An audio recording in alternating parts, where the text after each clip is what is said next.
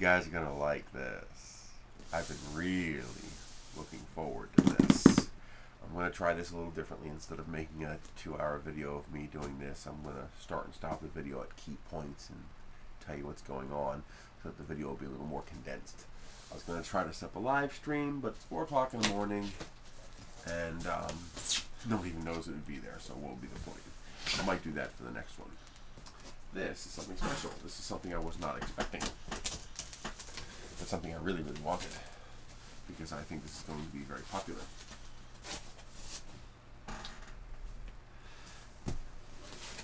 Do you see what this is? You know what that is? CR10 Mini. That's right. The all metal frame Creality CR10 Mini. 200 by 300 by 300. This thing's cool. I'm going to pull everything out of here, spread it out on the table, and I'll be right back.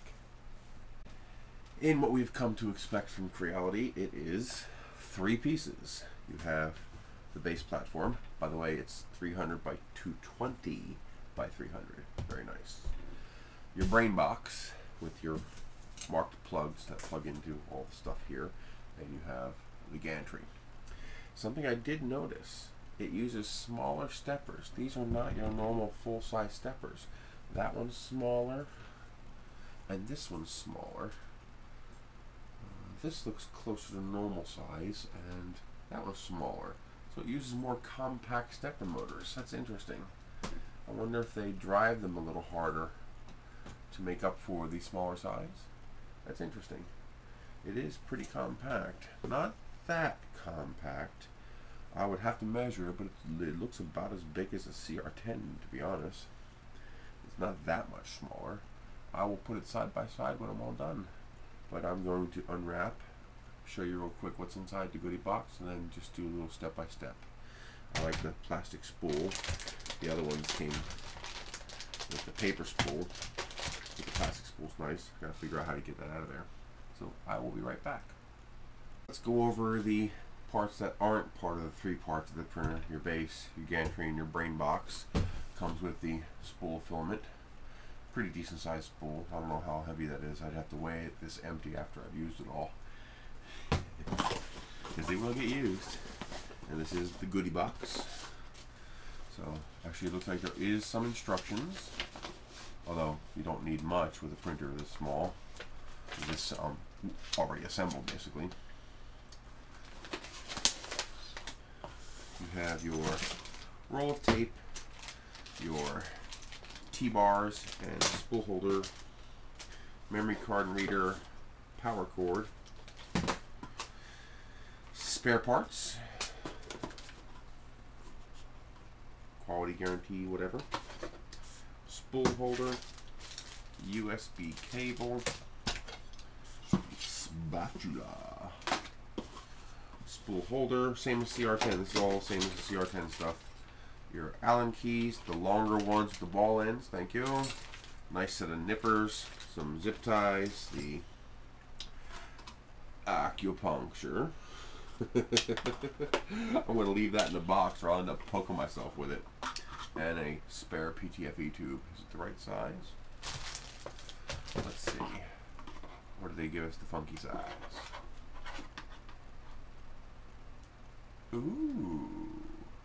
Looks like they gave us the correct size PTFE tube. Good job, Creality. It shows that you are listening. Alrighty. And a couple of things of note. The gantry does come with the um, the Z-rod disconnected from the coupler. In the past, you would have these couplers get stretched, and the reason that happened was at some point during shipment, this got pulled up and it would stretch the coupler. So they now ship it with the coupler disconnected, and the grub screws do appear to have stayed in place. So you will have to slide that in there and tighten down those grub screws. But we'll get to that as it comes. So I'm going to prepare for the next step, and I'll be back. Previously, comes with the washers that we will not be using.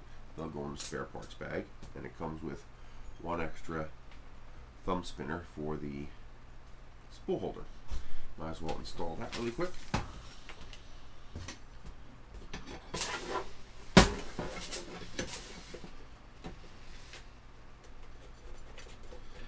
That just spins on like that. I'll be switching over to the Ender style later on, but for now we're going to build it stock. This spins off. Pop it through here.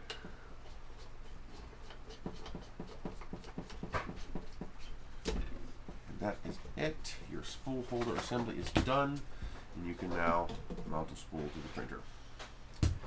I'll be back for the next step. Before we continue on to the next step, one of the first things that you need to check is the bed. Remember, these use concentric bolts. It's basically a, a miniature CR10, and as you can see, this one wobbles. Can't have that. So we look underneath here, flip over, and you can see these are concentric, concentric, concentric. So as we can see, these look pretty tight. That's loose. If you grab the one wheel and grab the other wheel, if you turn it, it's loose. Tighten.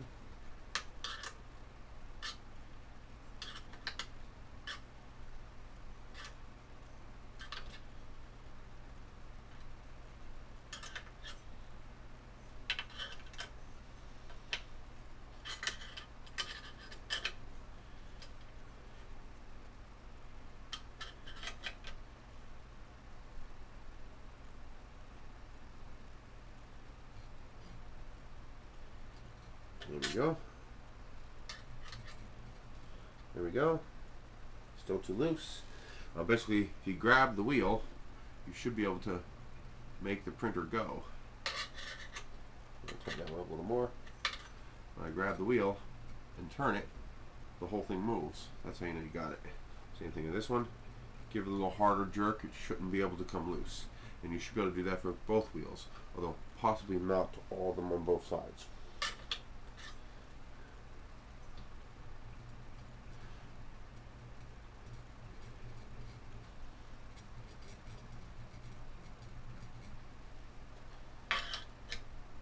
loosen, loosen.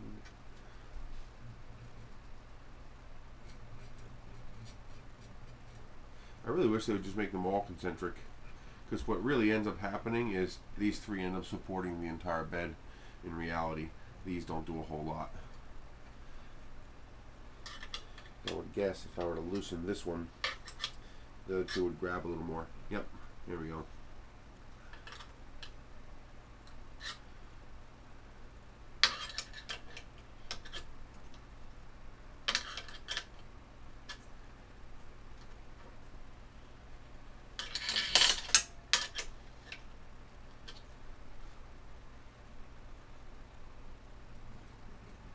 So that one's good.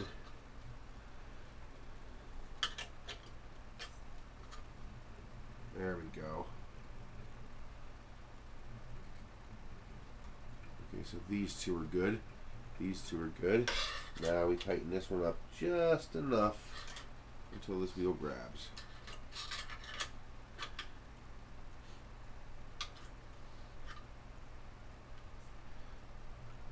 See, it's binding.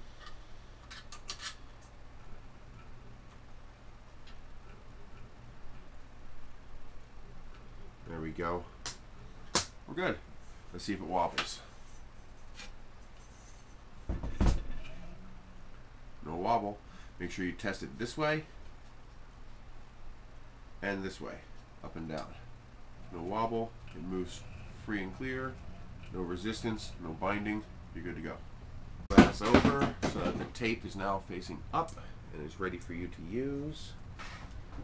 And as with the other printer, your binder clips hold it down. I checked with a ruler and this one does appear to be flat. So whether that means quality controls improved or I just simply got a flat one, the glass appears to be nice and flat. I'll of course later put some PrintinZ on here. Next step is to attach the gantry, which I'm going to do next using the four large bolts that come in the bag. For that we are going to insert the rod into the coupler and tighten the couplers. Big size up, really? That's a big one. No, it is that size. I had it right.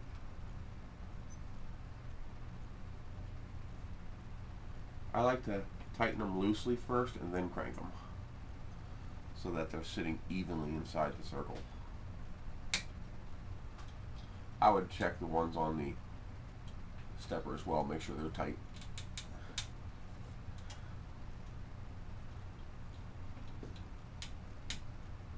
Go. Next step is to attach the gantry. I install through here, holding it here until I get it aligned. You should be able to spin it in by hand. Uh, when you go to do the second one, sometimes it'll resist. Bring your hand down here and grab the other side and wiggle it around because this will twist as you can see and you wiggle it around until the second hole lines up and you can turn it in by hand. When you have them both in by hand, you turn them down with a wrench, but you do not tighten them because if you tighten them, it'll be difficult for you to move the other end to align the bolts on the other end with the gantry and the base.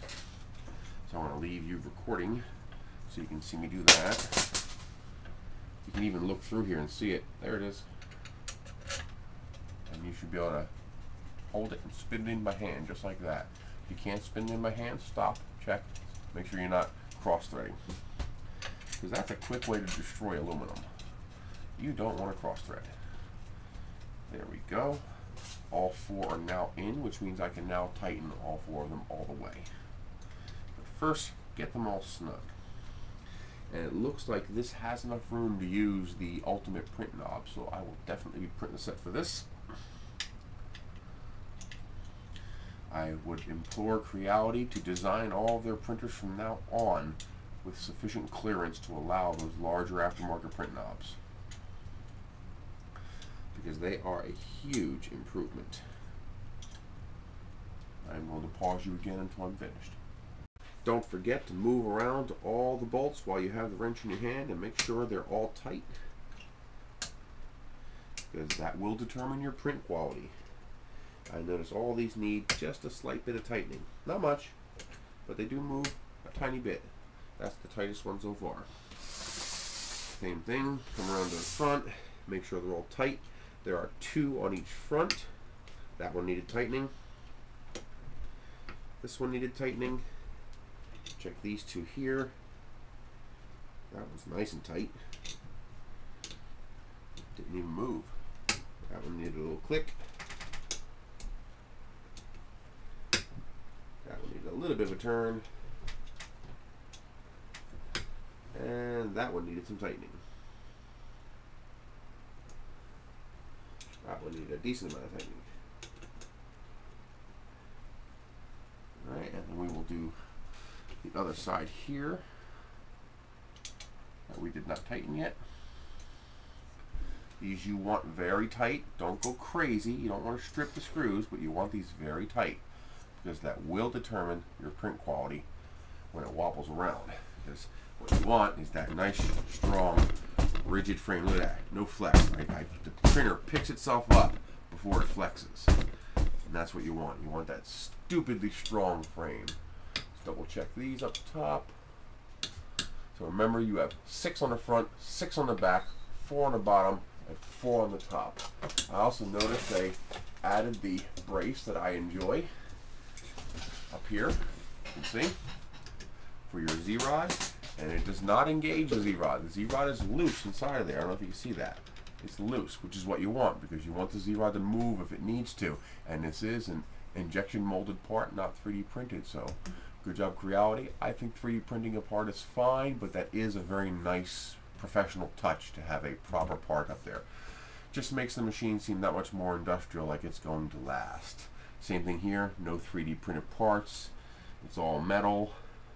Uh, they're still using the plastic on here, but I had no problems with the first one, so I think it's fine. It's not 3D printed. It is ABS molded. Feels plenty strong. So don't forget, two here, two here, two here, two here, two here, two here, here, and here. Make sure they are tight because they are the primary structure for this entire printer. You want them as rigid as possible. Just don't go crazy and strip them is your T-brace on the side. So you align these horizontally and these vertically and it slips right in just like that.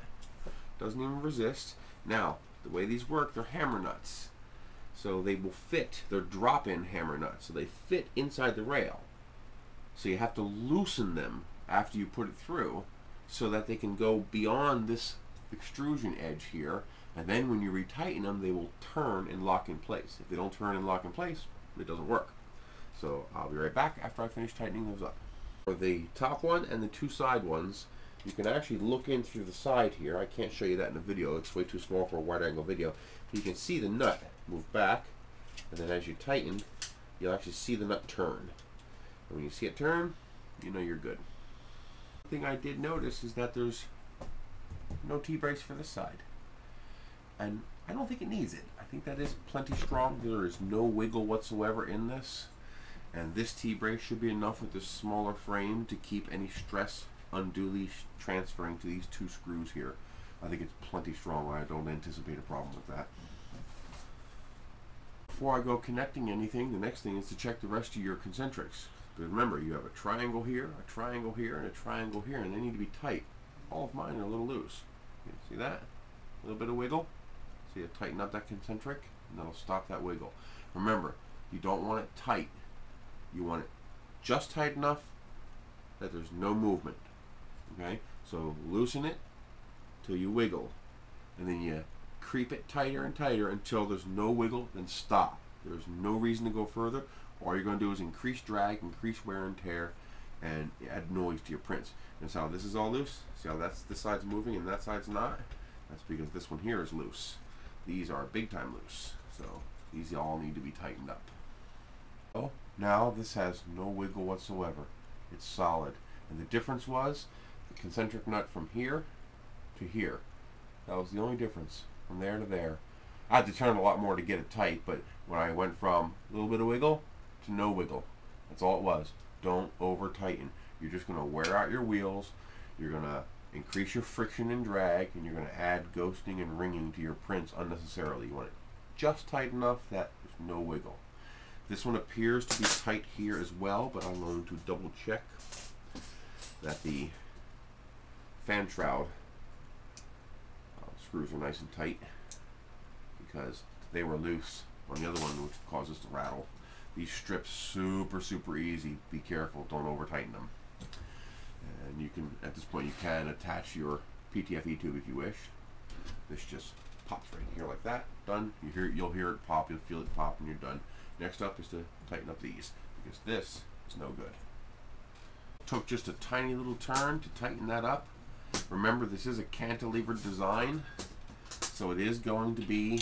Um, it's never going to be perfectly tight this way. And if you have that too tight, uh, when you go to raise this and lower this, you'll notice that it'll tilt, and you don't want that. There we go. See? I had it too tight, so what happened is this would go up first, and then that would follow. And now that I loosened it a tiny bit, you see there's no lag anymore. Is this tight now? Yep, nice and snug It doesn't wobble like it did before. Over tighten that, and what will happen is this this will chase this. You'll move up, and you'll see this move up first, and then that follows. And when you move down, you'll see this move down first, and then that follows. And you don't want that because that's going to cause this entire segment of the plane to tilt when it's going up or down. And you definitely don't want that. So over tightening is as bad as under tightening. All you want to do is take the slop out of it. See, I move up and down here. There's no slop. Stays put. Good. Now, I haven't connected anything electrical yet because I went through and I checked pretty much every single nut and bolt on the machine to make sure they're all tight. I noticed a couple of these were a little loose. I noticed a um, the hammer knot wasn't fully engaged on the Y limit switch, so I corrected that. I double checked all the couplers and pulley grub screws, made sure they were all tight. I made sure the compression connectors were snug, just a tiny bit, easy to strip. You probably won't strip this one, but this is actually, yeah, it's still plastic, I think. Still plastic? Yep, still plastic. Um, check your grub screws on your drive gear. Make sure that's snug. Make sure everything's tight. Um, these need to up a little bit, just a tiny bit. It wasn't much. They weren't off by much, but it was just enough that I wanted to make sure. Ooh, that was loose. You definitely don't want your Z motor to be loose. Okay, they are nice and tight. The two I forgot to check. Z motor is facing rearward. Everything looks good. I am now ready to begin electrically connecting the brain box to the rest of the machine. Do remember to check your 220 110 volt switch. It should come default to 220, which is safe because if you plug a 220 into a 110 outlet, nothing happens. It's dangerous when it's set to 110 because if you plug a 110 into a 220 outlet, magic smoke comes out. You don't want that. so mine was correctly set to 220. I switched it to 110 since I'm in the United States. And do be careful with some of these screws. They are a little on the loose side. For example, um, this wrench is defective. This end works fine. This end does not. It's a little smaller than it should be. So when you try to use the ball end, it doesn't fit. It just spins. But this end fits fine. Just cheap wrench. But um, I really wish if Creality ever watches one of my videos, please never use these. What do you call them? The the the dome mushroom um, screws. Only use this kind. This kind here, the cap screws. Use the cap screws everywhere. All the other ones suck. Just use the cap screws. Adjust your design so that the cap screws work because these dome-shaped ones, I don't know what they're called, they suck. They always strip. They're always poorly made. But the cap screws, they work every single time. So, printer manufacturers, cap screws only. Repeat after me. Cap screws only. Something, get ready to connect the electricals and the heat bed is a plug. Not a fan of that. But they do do it right. They use both of the available pins for the positive and both of the available pins for the negative. Since uh, most of them that I've seen that burn up, like on the Anet E10, they um, they burn up slowly and barely, and they're only using one pin. So by using both pins, you're splitting the amperage between two pins. So each pin's only taking half the number of amps.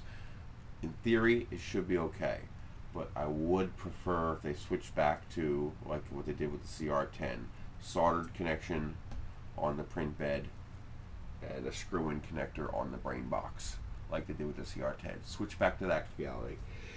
They did that with the hot end, but not with the heat bed.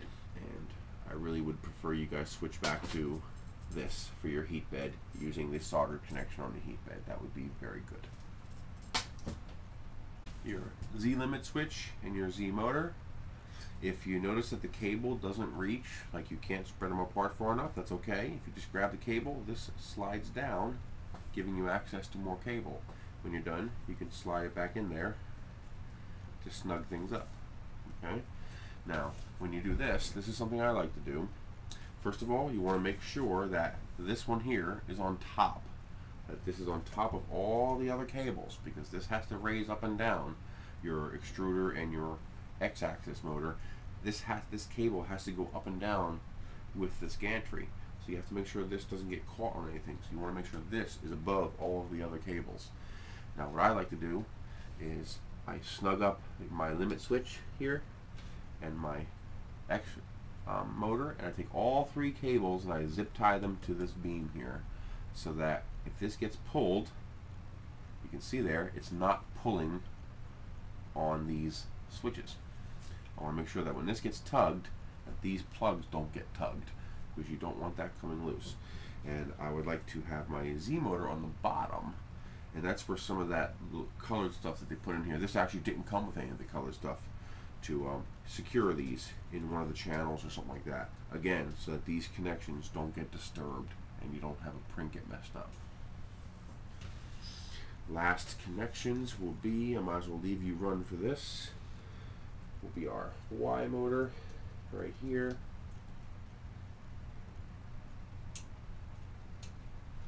Right there and right here. And that is it. We are just about ready for initial power up. I like to keep the bed on the bottom so it doesn't grab anything. This is your hot end. I'm a little disappointed that Creality still doesn't have a method of securing this. You know, even just a, a screw hole here and a clip just to keep that in place. I, I, I would like that. Uh, I mean, it hasn't proven to be a problem, but it's one of those would be nice kind of things. Uh, that is it. We are electrically connected and everything is ready to go. Let's check out this here.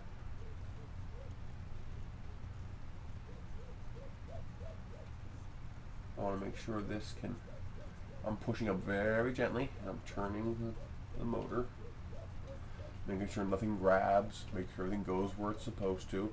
This should go in front of your gantry.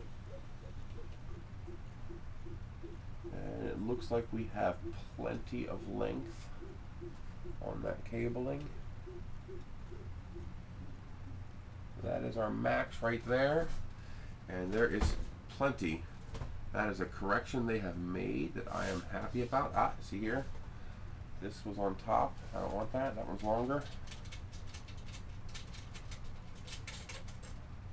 Let's get this over here like this. It's probably not important, but gives me peace of mind.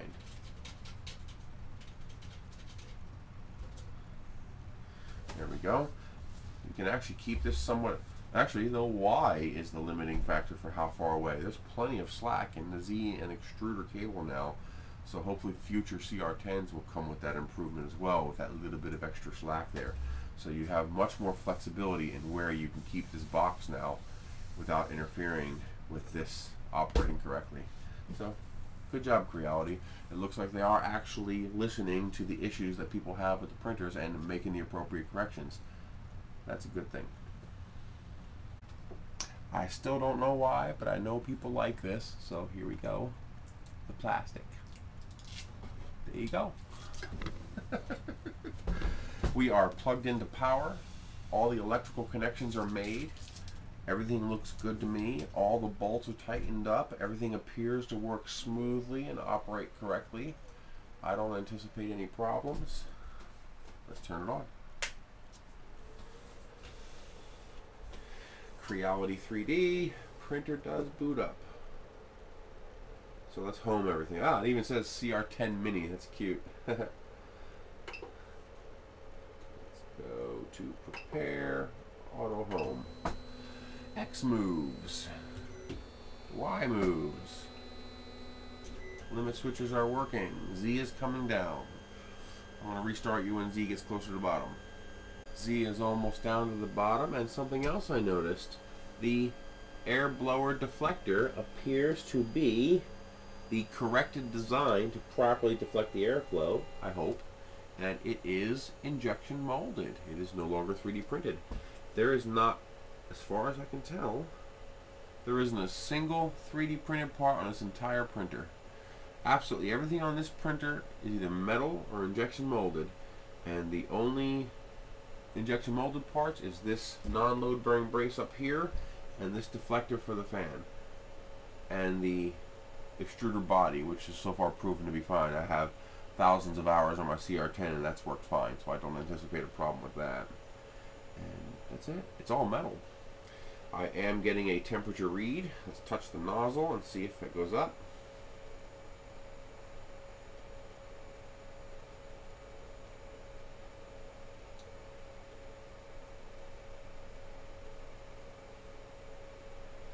It might be too cold in here for that to work. Oh, there it goes, 23 degrees. Oh, our steppers are locked. Control.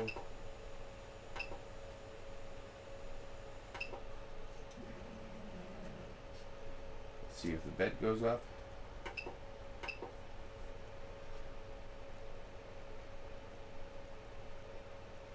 And we are getting 22 degrees on the bed. Let's heat it up.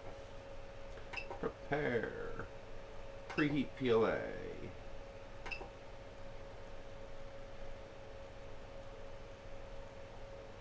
Hey, it looks like that's another correction they made. It now heats up the bed and the nozzle simultaneously so you don't have to wait for one to heat up to get the other to heat up. So while that is heating up, I'm going to prepare to insert filament. Looks like the exact same filament that came with the first printer, that kind of um, milky white, slightly translucent white filament. It's fine. I never had a problem with it.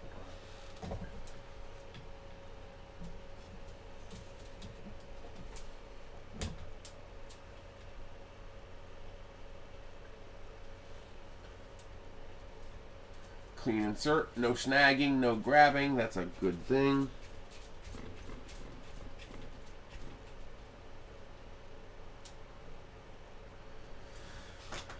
Alrighty. 8 gigabyte SanDisk SD card this time. Oh, interesting. There's an there's a plastic um, filler shroud around the SD card slot. So no more accidentally inserting the SD card slot into an empty space and it shoots off somewhere inside the printer or breaking the SD card slot. That is nice. It can only go in one way and it fits perfectly. So, initialize SD card, print from SD card. There's only one folder called CR10 Mini. I see a models folder. Looks like there's a Y-axis wire protection. I'm going to look at that before I do anything with that. Ha! There's a cat. We gotta print the cat. You can't not print the cat. Bed heated up nice and fast. It's only set to 45, but it heated up nice and fast. Um, oh, I didn't level. you gotta level the print bed. Oh, jeez. Prepare. Move axis. Auto home. Derp.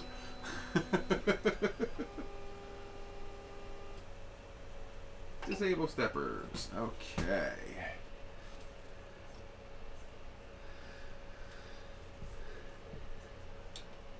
I like those nice flat springs. I do love those.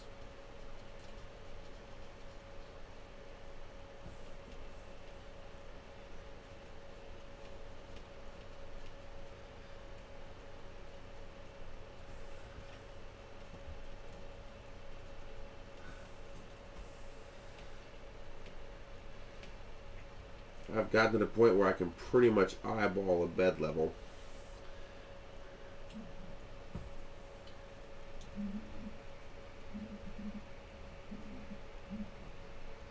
Once I get the splooge off the nozzle. Thank you. Go.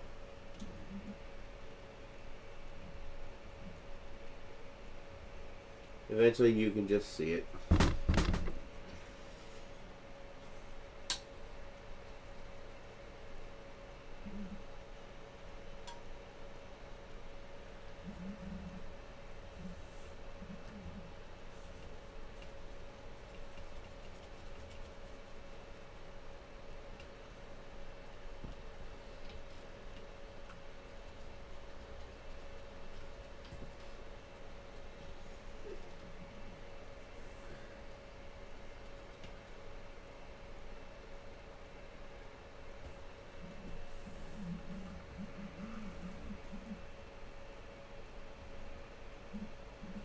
Pretty close.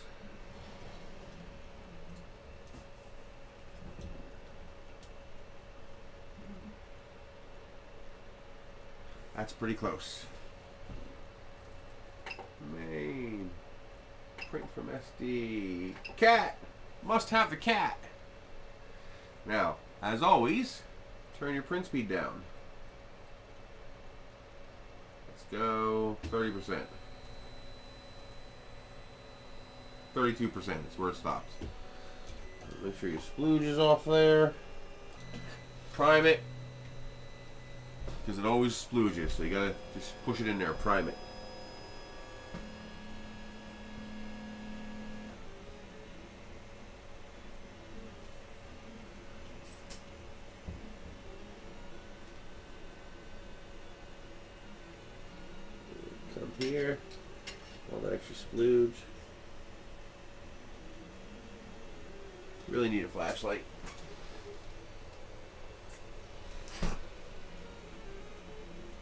Oh yeah, it's laying down nice.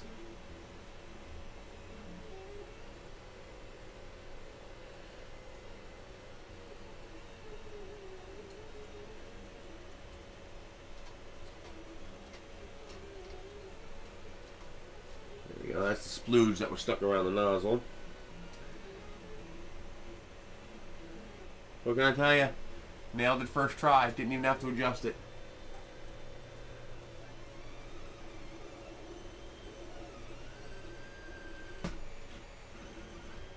Beautiful. Boy, I really nailed that. I'm not trying to toot my own horn. I don't usually nail it that right. That's nice.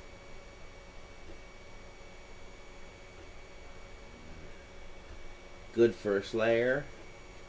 I see no issues whatsoever. I might be a tiny bit far away from the bed. Maybe. Or it might just be that I haven't uh, cleaned off the tape with alcohol first. Huh, switch sides. I wonder why I did that. It looks pretty good to me.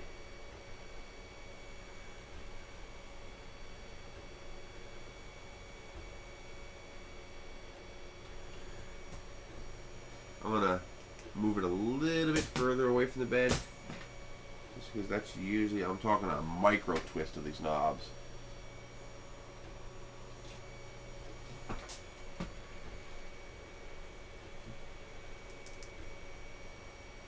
Yeah, that looks good.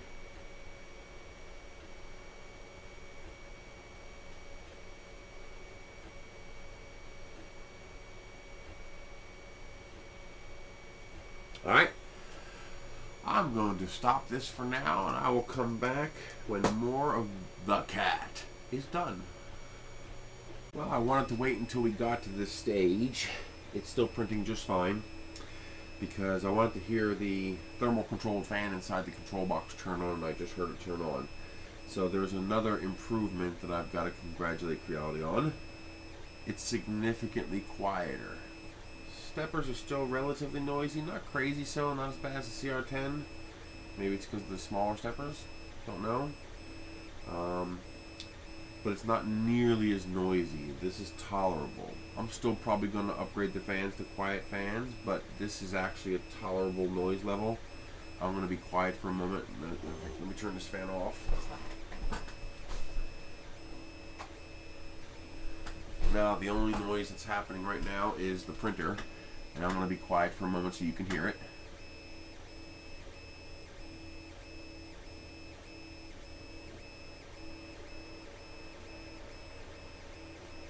Hear that? That was a thermal fan kicking on.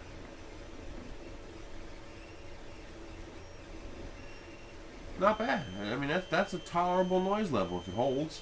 Now, one thing I don't like is that I can't change the jerk and acceleration on the control box. At least not while it's printing.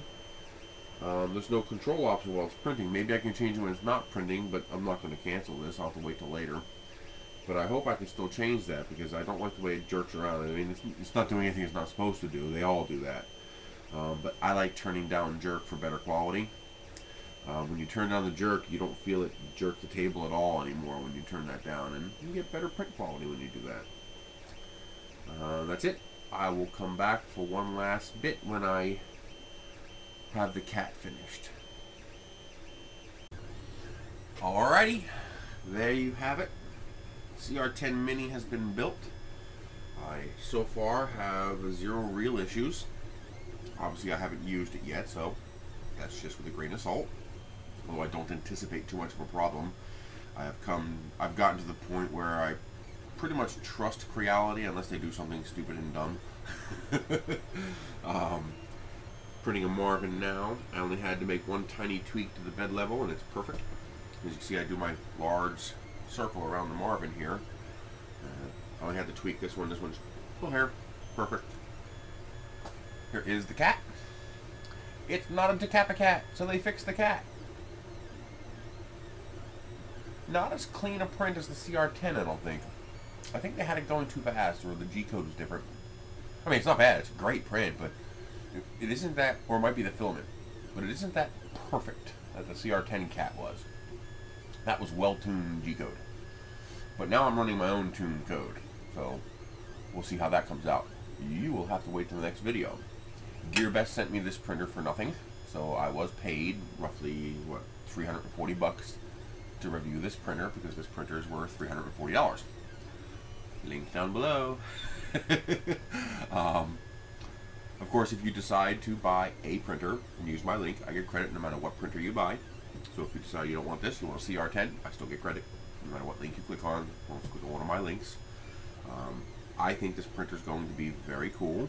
I'm going to reserve judgment until I throw all my test prints at it. So I got a Marvin printing now, then I'll do a Benchy, then I'll do a vase, then I'll do the two rockets, and then I'll do the big low poly vase at max height. And I'm doing this in the eSun PLA Blue. It's one of my favorite colors available. It's the incredible eSun PLA Pro, and uh, this is the same color as I did Luby Sorceress in.